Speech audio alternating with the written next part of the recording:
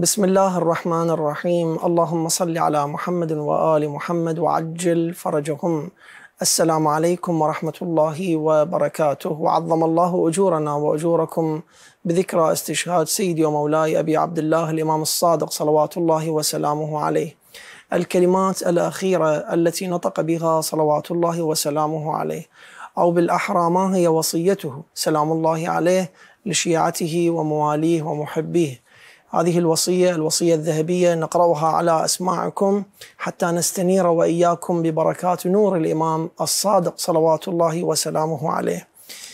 حيث ورد في رواية عن زيد الشحام قال قال لي الإمام الصادق صلوات الله وسلامه عليه اقرأ على من ترى من يطيعني الظاهر أن الإمام يقول هذه الوصية ليست لكل أحد بل فقط أولئك الذين يطيعونني عندما يسمعون كلامي. اقرأ على من ترى أنه يطيعني منهم ويأخذ بقولي السلام وأوصيكم بتقوى الله.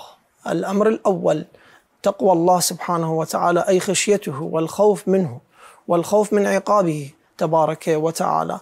وهذه صفة أولى من صفات المؤمنين أنك تجعل الله نصب عينيك في كل فعل في كل حركة وسكنة. ثم يقول وأوصيكم بالورع في دينكم أي أن تتجنبوا كل ما يسخط الله تبارك وتعالى وتمتنعوا الورع هو الامتناع والاجتناب عن كل ما يغضب الله تبارك وتعالى. ثم يقول الإمام الصادق سلام الله عليه والاجتهاد لله تبارك وتعالى. أن الإنسان يخلص في عمله وتكون كل أعماله لله تبارك وتعالى. وأوصيكم بصدق الحديث وأداء الأمانة. طبعا أداء الأمانة ليس فقط مبلغ من المال يسلمه شخص لك وترجعه أنت إلى ذلك الشخص. لا الأمر أكبر من ذلك. الصلاة التي نصليها أمانة لا بد أن نرجعها كما أمرنا الله تبارك وتعالى بها. كذلك هذه النفس على سبيل المثال التي أودعها الله تبارك وتعالى في هذه الأجساد.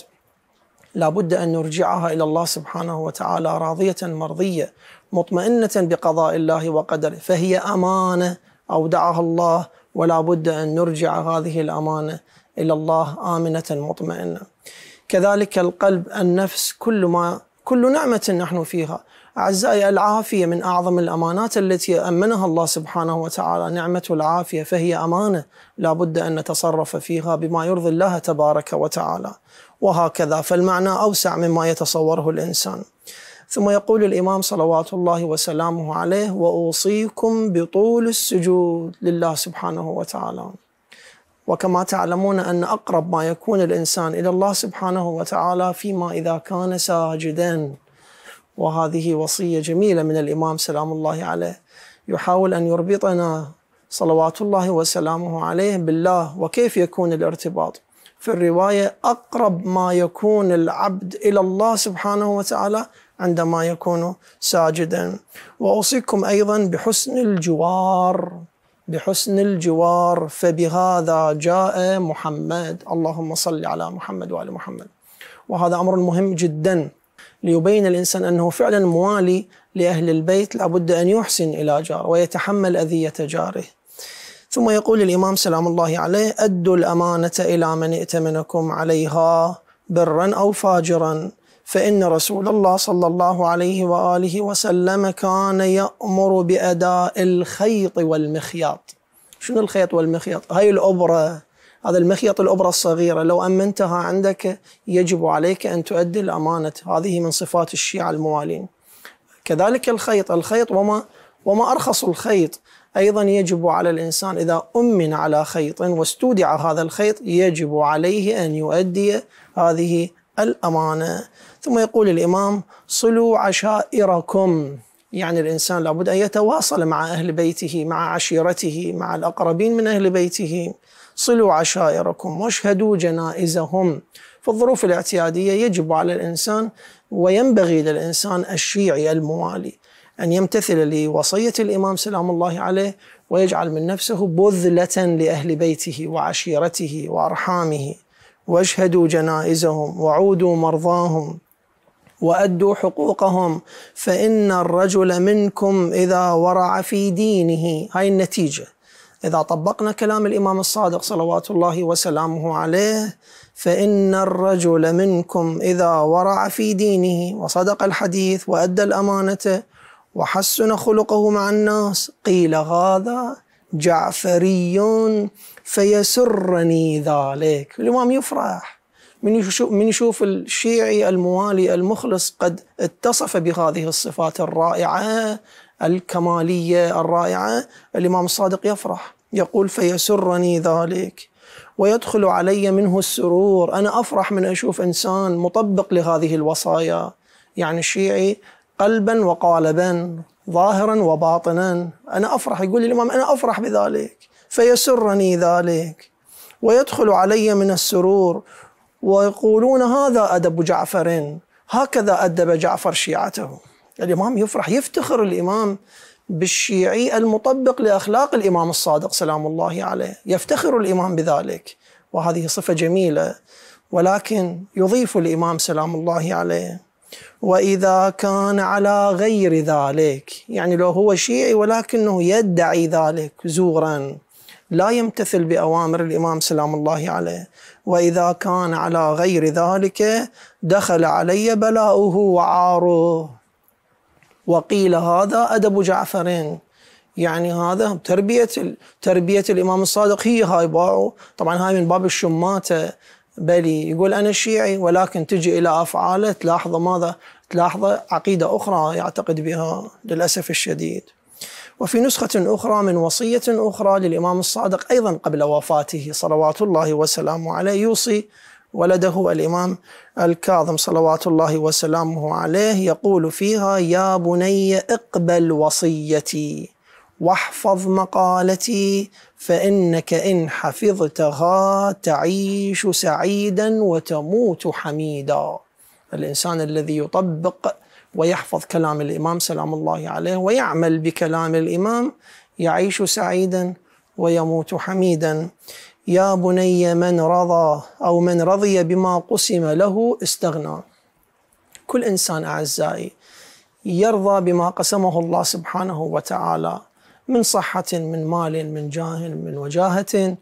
الله سبحانه وتعالى كأنما الرضا بما قسم الله يكون من أغنى الأغنياء. كل من رضي بما قسم الله سبحانه وتعالى يكون غنيا.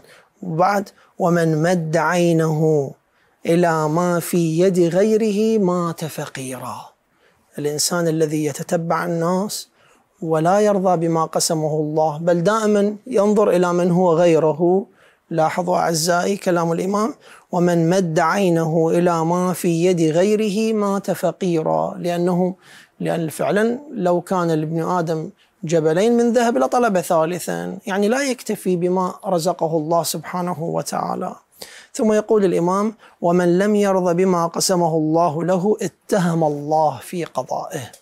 كل إنسان لا يرضى بقضاء الله وقدره فكأنما نسب السوء إلى الله حاشاه تبارك وتعالى. اتهم الله في قضائه فلا بد أن نرضى بما يأتي من الله. كل شيء الصحة العافية المال الجاه كل شيء يأتي من الله. الحمد لله على كل حال. ثم يقول الإمام سلام الله عليه ومن استصغر زلة نفسه استعظم زلة غيره. إلى أن يقول يا بني يا بني من كشف حجاب غيره انكشفت عورات بيته. نعوذ بالله من ذلك. الإنسان لابد أن يتصف بصفات حقيقة لابد أن يستر على الآخرين لابد أن يمتنع ويحجب نفسه عن كل ما يسيء إلى الآخرين. لاحظوا كلام الإمام أعزائي قال يا بني من كشف حجاب غيره انكشفت عورات بيته. نعوذ بالله من ذلك. من باب كما تدين تدان. ومن سل سيف البغي قتل به. كل إنسان يرفع السيف يريد أن يشق عصا المسلمين يقتل بهذا السيف. ومن احتقر أو من احتفر لأخيه بئرا سقط فيها. لاحظوا أعزائي كل من احتفر لأخيه بئرا وأراد أن يسقط أخيه في ذلك المأزق أو ذلك تلك الفتنة. الله سبحانه وتعالى الإمام يقول سقط في تلك الفتنة واستحق الهلاك. ومن احتفر لأخيه بئرا سقط فيها. ومن داخل السفهاء حقر. ومن خالط العلماء وقر. ومن دخل مداخل السوء اتهم. لذلك أعزائي لابد للإنسان أن يجنب نفسه مداخل السوء. الأماكن التي تكون فيها شبهة على سبيل المثال. بعض الأماكن مشبوهة. بعض البيوتات مثلا مشبوهة بعض الأماكن يدخلها الشبهة الإنسان لابد أن يجنب نفسه من مداخل السوء. فالذي يجنب نفسه مداخل السوء يجتنب عن الاتهام.